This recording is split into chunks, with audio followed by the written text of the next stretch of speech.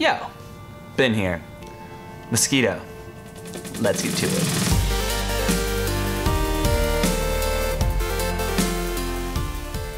Mosquitto is a great open source MQTT broker. If you're not sure what MQTT is, you can check out my previous video linked here. Mosquitto is nice because you can run it on your own device, like a Raspberry Pi, and so you won't be dependent on some cloud service like Cloud MQTT. And because it's internal, you don't have to worry about people snooping on your data so much as you do if you were to use a cloud service. Getting started with Mosquitto is super easy. In this video, I'm going to show you how to install, configure, and use it on a Raspberry Pi running Raspbian Jessie.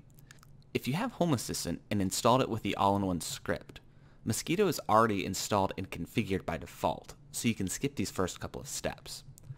To get started with Mosquitto, the first thing we need to do is to open PuTTY and log into a Raspberry Pi.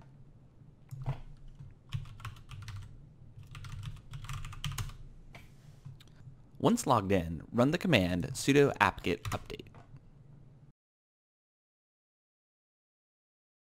Then run the command sudo apt-get upgrade.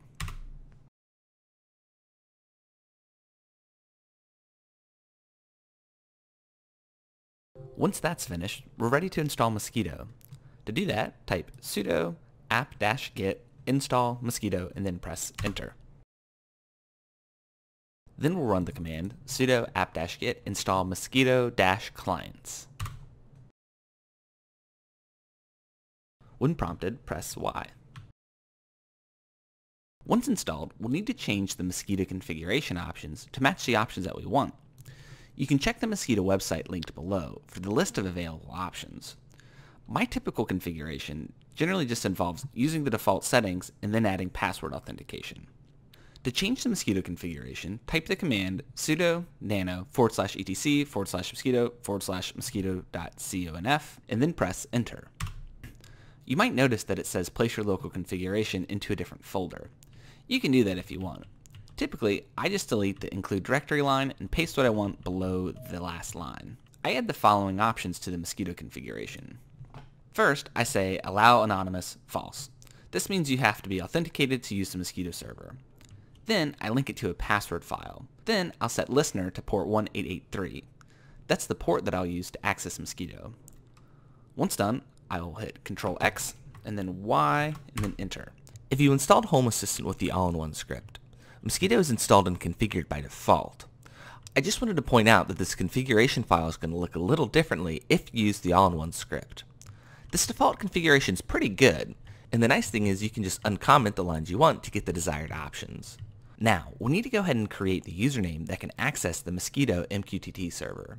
To do that, I'll use the command sudo mosquitto underscore passwd dash c, and then I'll link it to the password file, which is forward slash etc forward slash mosquitto forward slash pwfile. And then on the end of all of that, I'm going to type the username I want to create. In this case, I'll just use username. Then it'll prompt you to create a password. You can make this anything you want, but I'll just use password. Now, there's one last thing we need to do. In order for these changes to be effective, we'll need to go ahead and restart the Pi. To do that, I'll use the command sudo reboot, and then press enter. Once your Pi restarts, your MQTT server should be up and running. You can access it at your Pi's IP address at port 1883. One thing I just want to point out is that you're only able to access your MQTT server on your internal network.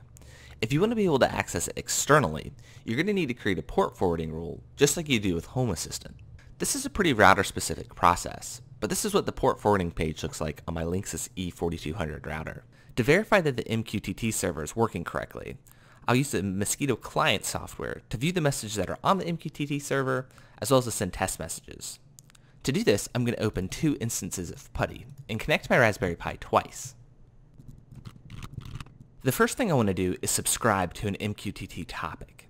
To do this, I'm going to type the command mosquitto underscore sub and then dash D, which stands for debug, and then dash U, and then the username I created, and then dash capital P, and then the password for that account, and then dash T, followed by the topic that I want to subscribe to. In this case, that's dev forward slash test. Then I'll press enter. Now, any message that's sent to that MQTT topic while you're subscribed will show up. This will continue to run until I press Ctrl C to stop it. Next, I want to send an MQTT message. To do that, I'm going to use the command mosquitto underscore pub, and then essentially the same message, but after the topic, I'll say dash m, which stands for message, and then hello world in quotes. And then I'll press enter. You'll notice that it immediately shows up on the left-hand side. That's great. That means that the message was sent successfully. Now, to add the Mosquitto server to Home Assistant, you'll need to add the following to your configuration.yaml file. In the broker field, you'll need to type the IP address for the device running your Mosquitto server. In this case, that's 192.168.1.142. Then, in the port field, I'll leave this at 1883. For client ID, I'll leave this to home-assistant-1, and then in the username, I'm currently using secrets, but I will change this to username and password so you guys can see it. You'll need to change that to whatever you set in the Mosquitto server. Once done, go ahead and hit save, and then you can restart Home Assistant. In this case, I'll just say sudo reboot.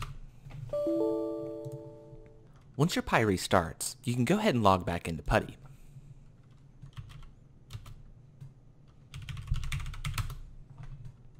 Then I'll go ahead and subscribe to the same topic we did last time, which is dev forward slash test, and then I'll hit enter. Now, I'll go to my Home Assistant user interface, and then I'll go to the Services Developer tool. Then I'll click MQTT forward slash publish. From here, I'm able to publish an MQTT message inside of Home Assistant. For an example of the correct JSON syntax, you can try to interpret what's below the Call Services button. Or, if you go back to the MQTT Components page and scroll down, they have a great example here. I'll go ahead and copy this and paste this into the services field. Then I'll change the topic to dev forward slash test, and then for payload, I'll say hello world.